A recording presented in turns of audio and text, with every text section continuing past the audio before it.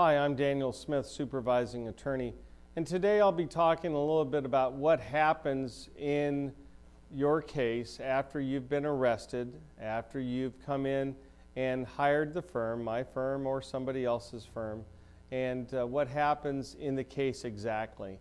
Well, first of all, if it's a misdemeanor court appearance that we're talking about, and let's say it's a DUI, the most common offense in the state of California, your attorney will be making the first court appearance or the arraignment for you.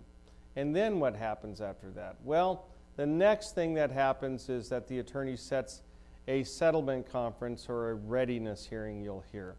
What we'll do is we'll get the reports, we'll make copies of the reports, we will send them to you, and we'll go over those reports with you. Now, in many cases, my clients will actually hire me over the phone. They might fill out this uh, form that I have that helps them uh, to communicate to me uh, the nature of their offense. Um, and then we get the payment schedules set up. We feel comfortable with each other. And finally, we get to really the meat of the case. What do the reports say?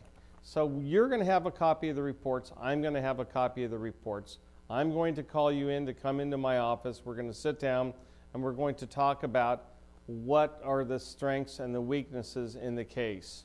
I'll have some questions for you.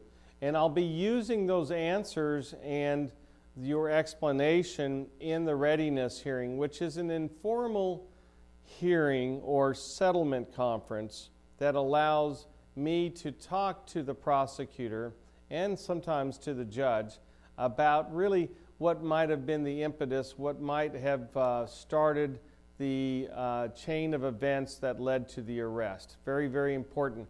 A judge is going to look at that in determining how they feel about the case.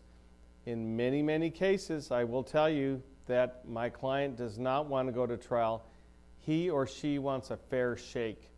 He or she wants to get out their story and to have the appropriate punishment or dismissal in many, many cases as a result of getting that story out. That's what our job is, and that's the first part of the uh, process of defending a person that's been charged with a crime.